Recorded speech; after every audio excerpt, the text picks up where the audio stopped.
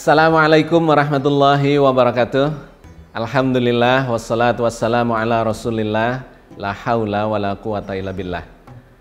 Sahabat sekalian, kita bersyukur berjumpa kembali dalam program Cangkir Tasawuf episode yang ke-120.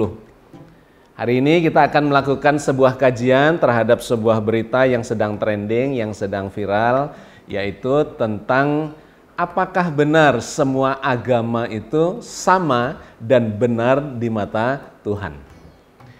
Ini menjadi menarik karena sedang menjadi pembicaraan beberapa waktu yang terakhir ini, yaitu ketika ada seorang jenderal ya Pangkostrat Dudung Abdurrahman yang mengemukakan dalam uh, briefingnya kepada uh, pasukannya Kostrat menurut beliau atau yang diungkapkan beliau bahwa agama itu sesungguhnya semuanya benar di mata Tuhan. Nah, menjadi menarik karena kemudian ini menjadi viral dan kemudian e, mendapat tanggapan dan kritik dari kalangan yang sangat luas.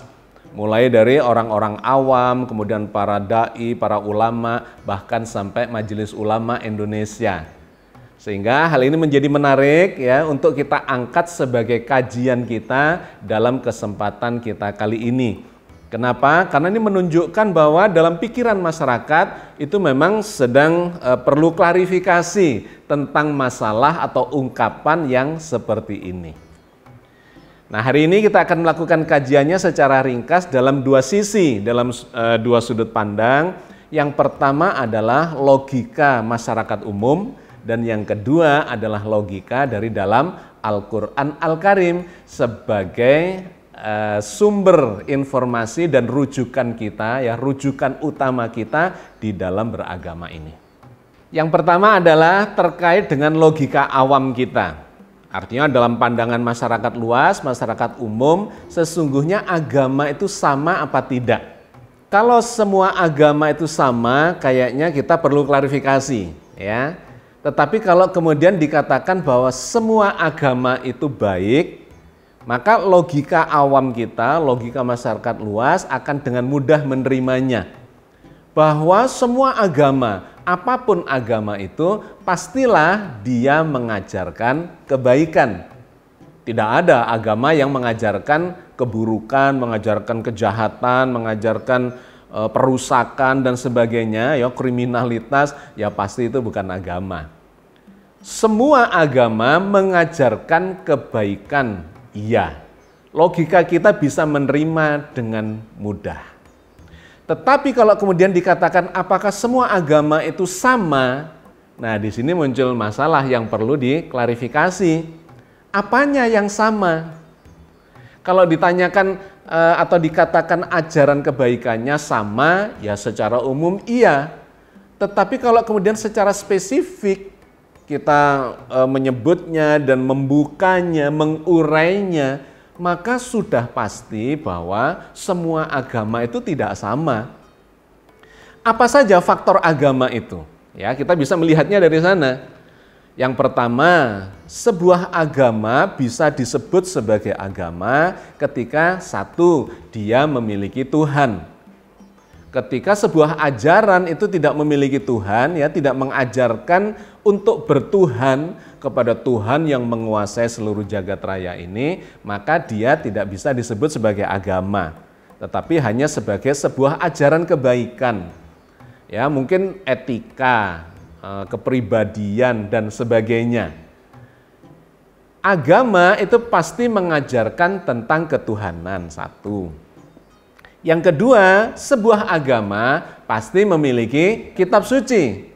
Kalau ada agama tidak memiliki kitab suci, maka eh, dia diragukan sebagai sebuah agama.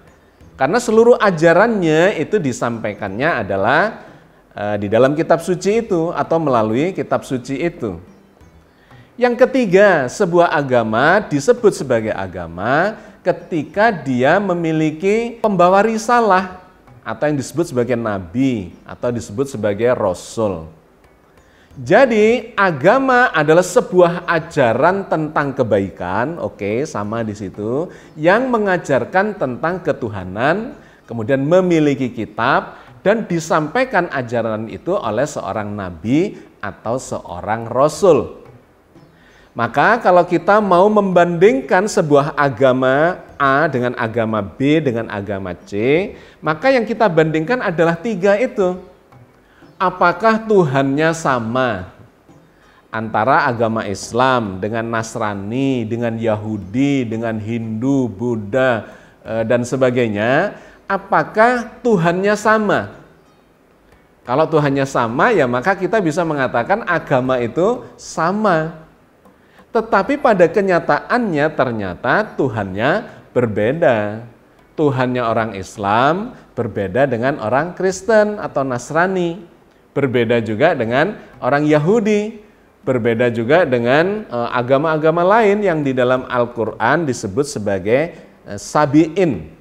Ya, orang yang mengikuti agama tetapi bukan agama langit, agama samawi yang dibawa oleh Nabi Ibrahim ya misalnya Hindu, Buddha, Konghucu dan sebagainya itu masuk dalam kategori sabiin agama-agama yang dianut oleh orang-orang yang bukan menganut agamanya Nabi Ibrahim.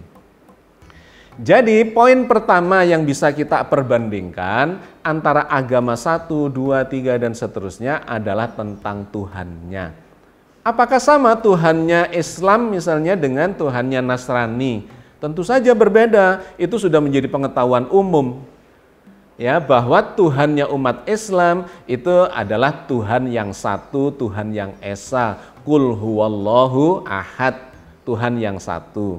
Tetapi di kalangan e, Nasrani menyembah ada tiga Tuhan yang disebut sebagai Trinitas, yang e, tiga Tuhan itu diformulasikan sebagai satu kesatuan. Ya, apa pun ya kita tidak mau masuk ke uh, lebih dalam lagi dalam konteks ini atau dalam kajian ini uh, melainkan kita melihat formulasi secara makronya ya, secara umumnya itu sudah berbeda. Di dalam Islam satu yang tidak bisa dipisah-pisahkan, satu dan satu-satunya, sedangkan di Nasrani itu satu yang terdiri dari tiga yaitu Tuhan Bapa, Tuhan Anak atau Yesus dan kemudian Roh Kudus. Jadi secara formulatif jelas berbeda. Dengan agama Yahudi yang disebut sebagai Yahweh itu. Nah, apakah kriterianya sama? Ternyata juga berbeda. Ya, silahkan ini kita bisa melakukan kajiannya lebih panjang tentang ketauhidan itu. Tetapi dalam konteks ini atau kajian kali ini kita cuma mencoba melihat formulasinya saja. Sifat-sifatnya bisa berbeda. Dibandingkan dengan Tuhannya agama Hindu, itu juga akan memiliki kriteria sifat-sifat yang berbeda dengan Buddha, dengan Konghucu, dengan uh, Sinto dan sebagainya. Maka agama A dengan B dengan C dan seterusnya ternyata berbeda ketika dibandingkan dari sisi ketuhanannya. Kalau di dalam Islam disebut sebagai ketauhidan atau teologinya ya. Ilmu ajaran yang e, memformulasikan tentang Tuhan dari sebuah agama itu. Satu, Jelas berbeda dilihat dari sisi ketuhanan. Yang kedua, dilihat dari sisi kitab sucinya. Apakah sama kitab sucinya agama A, B, C? Tentu saja berbeda. Semua orang secara umum, orang awam akan menyimpulkan bahwa itu adalah berbeda. Kitab sucinya umat Islam adalah Al-Quran. Kitab sucinya e, Nasrani adalah Alkitab yang terdiri dari perjanjian lama dan perjanjian baru. Perjanjian barunya terdiri dari empat eh, dan seterusnya. Intinya adalah berbeda kitab suci agama Islam dengan Nasrani. Kemudian dari Yahudi ya yang menganut uh, Taurat yang uh, sudah diformulasikan kemudian disebut sebagai perjanjian lama itu. Kemudian dengan kitab uh, Hindu, Buddha ya berbeda kitab sucinya berbeda. Karena itu, secara pendekatan atau perbandingan kitab suci, kita juga bisa mengatakan bahwa agama A dengan B dengan C tentu saja tidak sama, berbeda. Yang ketiga, ketika diperbandingkan pembawa risalahnya, Siapa pembawa risalahnya? Tentu saja juga berbeda. Al-Quran risalahnya disampaikan Allah melalui Nabi Muhammad Sallallahu Alaihi Wasallam. Sedangkan pembawa risalah dari Nasrani eh, digambarkan sebagai Nabi Isa, di mana Nabi Isa kemudian menjadi bagian dari eh, Trinitas atau ketuhanan itu. Kemudian ada Nabi Musa, kemudian ada Buddha Gotama dan seterusnya. Jadi pembawa risalahnya juga berbeda. Maka secara sangat sederhana kita bisa mengambil kesimpulan antara agama A dengan agama B dengan agama C sesungguhnya adalah berbeda. Tidak bisa disamakan. Ini pendekatan awam, pendekatan e, dari masyarakat luas yang apa pun agamanya pasti kita akan memiliki titik yang sama ya, titik temu yang sama di dalam memahami agama-agama yang ada di dunia ini bahwa agama satu dengan yang dua, dengan tiga, dan agama-agama lain sesungguhnya adalah berbeda. Nah yang kedua kita mencoba melihat dalam sudut pandang Al-Quran karena Al-Quran adalah kita petunjuk bagi kita semua umat Islam untuk mengambil sikap ya menyikapi berbagai masalah termasuk terkait dengan perbandingan agama-agama itu. Bagaimana Al-Quran memberikan arahan, bimbingan kepada kita dalam bersikap untuk menghadapi semua agama itu. Ada beberapa poin yang perlu kita klarifikasi. Yang pertama, ada yang berpendapat di antara kita mengatakan bahwa berdasar salah satu ayat di dalam Al-Quran, agama apa pun itu kan sesungguhnya, kata Al-Quran, nanti kita baca ayatnya, agama apa pun menurut Al-Quran itu karena dia berbuat kebajikan, e, berbuat amal saleh, maka dia pasti akan mendapat pahala dari Tuhannya. Nah Allah berfirman tentang itu memang di dalam surat Al-Baqarah ayat 62. Innalladzina amanu walladzina hadu wan nasara wassabiina man amana billahi wal yaumil akhiri wa amila solihan falahum ajruhum inda rabbihim wala khaufun alaihim wala hum yahzanun. Sesungguhnya orang-orang mukmin, orang-orang Yahudi, orang-orang Nasrani dan orang-orang Sobiin siapa saja di antara mereka yang benar-benar beriman kepada Allah hari kemudian dan beramal saleh, mereka akan menerima pahala dari Tuhan mereka. Tidak ada kekhawatiran kepada mereka dan tidak pula mereka bersedih hati. Ayat ini menarik dan sering dijadikan eh, bahan kajian atau sebagai eh, argumentasi dari kawan-kawan yang mengatakan bahwa semua agama itu baik, semua agama itu bahkan benar karena Tuhan akan memberikan pahala kepadanya ya kepada siapa saja dari penganut agama itu yang melakukan kebajikan-kebajikan. Sahabat sekalian, ini perlu kita klarifikasi ya. Karena di situ ada syaratnya. Kenapa orang beriman kemudian eh, orang-orang uh, Nasrani ya pengikut agama Nasrani, pengikut agama Yahudi kemudian Sobiin pengikut agama-agama selain agama Ibrahim, agama Samawi, eh, dikatakan bahwa bagi mereka ada pahala ketika mereka eh, beriman kepada Allah. Yang kedua, kemudian beriman kepada hari akhir, hari pengadilan, dan yang ketiga adalah ketika dia berbuat amal kebajikan maka mereka akan mendapatkan pahala dari Tuhan, dari Allah dan mereka tidak akan memiliki rasa kekhawatiran, rasa ketakutan ya, karena semuanya itu dijamin balasannya oleh Allah. Nah, ini perlu kita klarifikasi karena ternyata di situ ada syarat-syaratnya. Apa saja syaratnya? Beriman kepada Allah.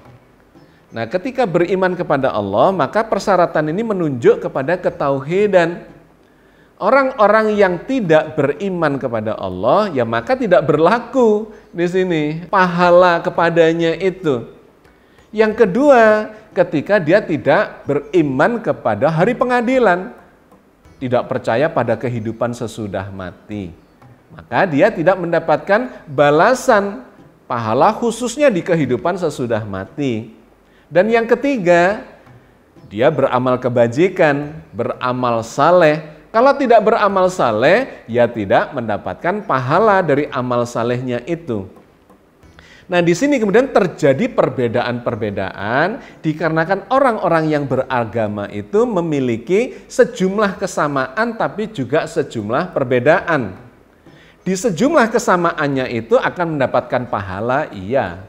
Apa kesamaannya? Adalah berlaku atau berbuat amal soleh, berbuat kebajikan. Kita sepakat tadi dalam eh, pendekatan atau sudut pandang masyarakat umum bahwa semua agama itu mendapatkan atau mengajarkan kebaikan. Maka ketika siapa pun dari eh, penganut agama itu melakukan kebajikan, amal saleh, maka pasti dia akan mendapat balasan dari amal salehnya. Misal nih, amal saleh itu apa?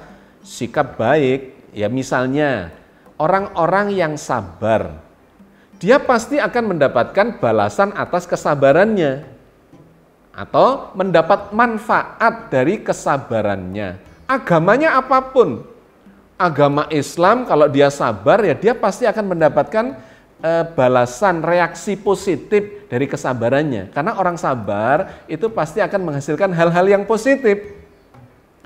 Bukan hanya umat Islam, orang Nasrani kalau dia sabar, dia pasti akan mendapatkan manfaat dari kesabarannya. Melakukan sebuah pekerjaan dengan penuh kesabaran, tidak tergesa-gesa, penuh perhitungan, dan seterusnya. Salah atau gagal diulang lagi dengan penuh kesabaran, terus dilakukan. Maka pasti orang itu akan mendapat balasan kebaikan atas kesabarannya. Orang Yahudi juga orang Hindu, Buddha, apa pun agamanya, bahkan yang tidak beragama pun, ketika dia menjalankan amal saleh, ya kebajikan, pasti dia akan mendapat pahalanya. Nggak usah takut, nggak usah khawatir. Sabar, ikhlas. Orang yang hatinya tulus, ikhlas itu pasti responnya juga baik dibandingkan orang yang penuh dengan agenda, ya penuh dengan pamrih, eh, pencitraan dan sebagainya eh, pasti orang merasa itu. Orang awam tidak perlu beragama pun ketika seseorang menjalankan hal itu maka dia akan dapat balasan kebaikan atas ketulus ikhlasannya. Orang yang adil pasti apa pun agamanya ketika dia menjalankan dalam kehidupan ini sebuah keadilan dalam kelompok kecil ya pergaulan misalnya di rumah tangganya antar saudara tetangga sampai yang besar masyarakat, bangsa, negara, bahkan seluruh dunia, ketika dia menjalankan keadilan, maka pasti niscaya dia akan dapat balasan dari keadilannya. Dan seterusnya, sebutlah seluruh amal kebajikan.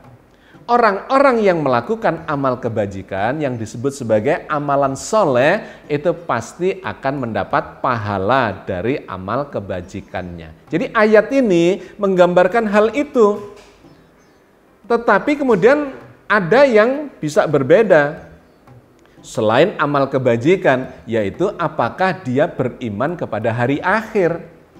Ketika dia beriman kepada hari akhir dan yakin bahwa nanti dia akan mendapatkan sebuah proses pengadilan, maka dia akan mendapatkan keadilan atau balasannya itu di hari akhir atau di kehidupan sesudah mati. Soalnya ada orang-orang yang tidak percaya terhadap kehidupan sesudah mati itu. Nah, jadi bagi orang-orang yang tidak meyakini adanya hari akhir, kehidupan sesudah mati, ya tentu dia tidak mendapatkan pahala terkait dengan kehidupan sesudah mati itu. Ya, ini yang kedua.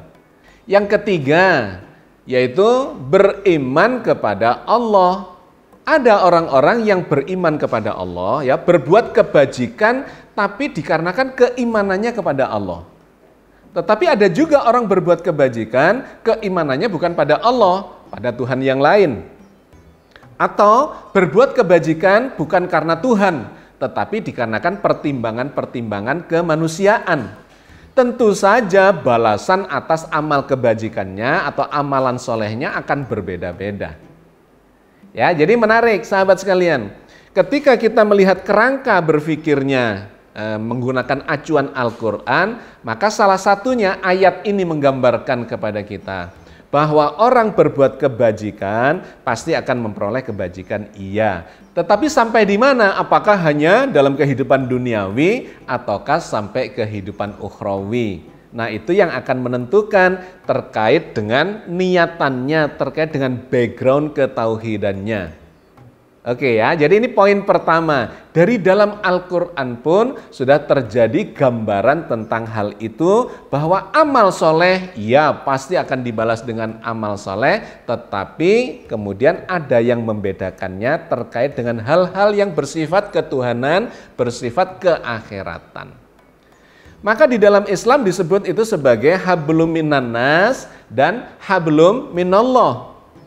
Hablum minannas adalah hubungan kemasyarakatan, hubungan antar manusia.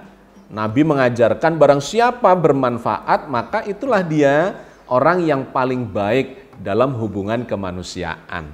Tetapi terkait dengan hubungan dengan Allah itu ada lebih lagi yang disebut sebagai takwa. Bahwa orang yang paling baik di antara kalian adalah orang yang bertakwa kepada Allah. Jadi ada orang yang penuh dengan kemanfaatan secara habluminanas tetapi tidak bertakwa kepada Allah. Nah tidak lengkap balasannya. Dia akan mendapatkan balasan di dunia tetapi di akhirat boleh jadi tidak. Oke ya sahabat sekalian, itu adalah poin yang pertama. Nah yang kedua, bagaimana kemudian Al-Quran mengajari kita tentang menyikapi perbedaan agama itu bahwa agama itu baik sudah pasti, tetapi agama itu berbeda juga sudah pasti. Nah, maka Al-Quran mengajarkan pada kita bahwa agama yang terbaik itu ya tentu saja adalah Islam. Nah, Allah berfirman tentang ini di dalam surat Ali Imran ayat 19. Inna dina indallahil Islam illa bainahum ayatillahi. Allah berfirman, sesungguhnya agama di sisi Allah ialah Islam. Tidaklah berselisih orang-orang yang telah diberi kitab kecuali setelah mereka memperoleh pengetahuan karena kedengkian di antara mereka. Barang siapa ingkar terhadap ayat-ayat Allah, maka sungguh Allah sangat cepat perhitungannya. Jadi secara khusus kemudian tuntunan Al-Quran itu mengerucut kepada kita semua, berpesan kepada umat Islam bahwa agama yang paling benar, agama yang diridhoi oleh Allah ya hanya Islam. Kenapa? Karena menurut ayat ini penganut-penganut agama yang sebelumnya, khususnya agama samawi ya, eh, itu telah melakukan perubahan-perubahan terhadap ajaran dari Allah itu. Sudah jelas, sudah datang ilmu, eh, sudah datang pengetahuan kepada mereka, tetapi dikarenakan kedengkian dari beberapa golongan itu, kemudian terjadilah pertengkaran, terjadi perubahan terhadap ajaran itu. Nah, sehingga Allah menurunkan kembali uh, ajarannya melalui Nabi Muhammad Sallallahu Alaihi Wasallam untuk meluruskan kembali ajaran tauhid itu, khususnya ketika terkait dengan Allah. Karena ternyata semua agama ini mengajarkan Tuhan yang berbeda-beda. Kalau Tuhannya sudah berbeda, ya kemudian menjadi berbeda semua ya misi dan visi dari agama itu menjadi tidak seperti yang semula yang diajarkan oleh Allah Azza wa Jalla. Tentang perpecahan umat di era sebelum Nabi Muhammad itu digambarkan lagi di dalam ayat-ayat yang berbeda. Salah satunya dalam surat Al-Baqarah 213. Kana nasu ummatan wahidah faba'asallahu nabiyyina mubashirina wa mundzirina wa anzala ma'ahumul kitaba bil haqqi liyahkuma bainan nasi fi mahtalafu fi wa mahtalafa fihi ila alladhina utuhu min ba'di ma ja'athumul bayyina baghyan bainahum fahadallahu alladhina amanu limahtalafu fihi minal haqqi biidnih Wallahu yahdi mayyasha'u ila siratim mustaqim. Manusia itu adalah umat yang satu. Setelah timbul perselisihan, maka Allah mengutus para nabi sebagai pemberi peringatan. Dan Allah menurunkan bersama mereka kitab yang benar untuk menjadi hukum di antara manusia tentang perkara yang mereka perselisihkan. Tidaklah berselisih tentang kitab itu, melainkan orang yang telah didatangkan kepada mereka kitab, yaitu setelah datang kepada mereka keterangan-keterangan yang nyata, karena dengki antara mereka sendiri. Maka Allah memberi petunjuk orang-orang yang beriman kepada kebenaran tentang hal yang mereka perselisihkan itu dengan kehendaknya dan Allah selalu memberi petunjuk orang yang dikehendakinya kepada jalan yang lurus. Jadi dalam sudut pandang Al-Quran sesungguhnya Tuhan jagat raya ini kan satu saja. Tidak ada banyak, tidak ada yang lain-lain. La ilaha illallah. Tidak ada Tuhan yang lain itu kecuali Allah saja. Tuhan yang satu, maka dia menurunkan ajaran, aturan yang satu. Nah, diceritakan dalam ayat ini tadi bahwa sesungguhnya umat manusia ini dulunya satu saja, kemudian terjadi pertengkaran, perselisihan, perbedaan kepentingan dan seterusnya sehingga memunculkan perpecahan-perpecahan seperti yang kita lihat sekarang. Tetapi Allah memberikan petunjuk yang benar kembali. Jadi setiap terjadi penyimpangan itu Allah menurunkan ajarannya, petunjuknya kembali kepada orang-orang yang beriman. Kalau tidak beriman ya sudah, nggak apa-apa, wong tidak percaya.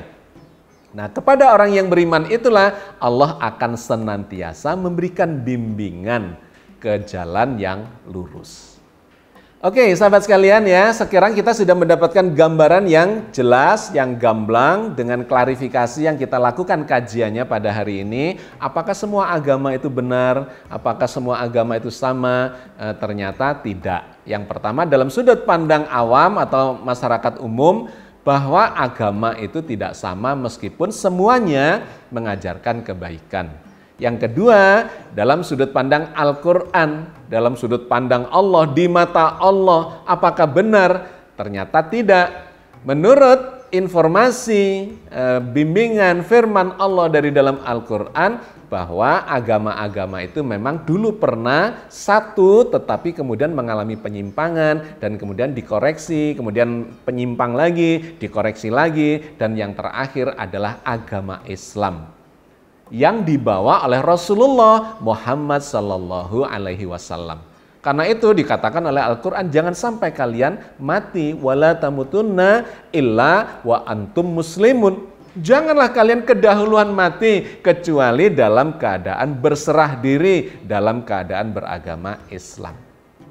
Lantas pertanyaannya, bagaimana sikap kita terhadap agama yang berbeda-beda? Al-Quran pun dengan sangat jelas menggambarkan kepada kita lakum dinukum waliyadin.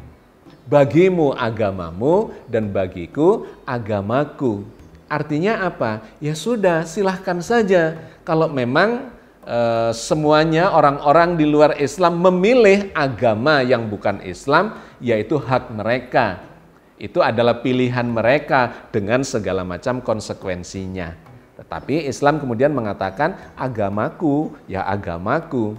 Di mana agamaku ini Islam ini mengajarkan kepada kita untuk menetapi seluruh tuntunan seluruh bimbingan di dalam Al-Qur'an Al-Karim. Wala tamutunna illa wa antum muslimun. Janganlah kalian mati kecuali dalam keadaan beragama Islam Mudah-mudahan Allah senantiasa membimbing kita di dalam ridhonya sampai akhir hayat kita dalam keadaan yang husnul khotimah. Amin ya rabbal alamin. Assalamualaikum warahmatullahi wabarakatuh.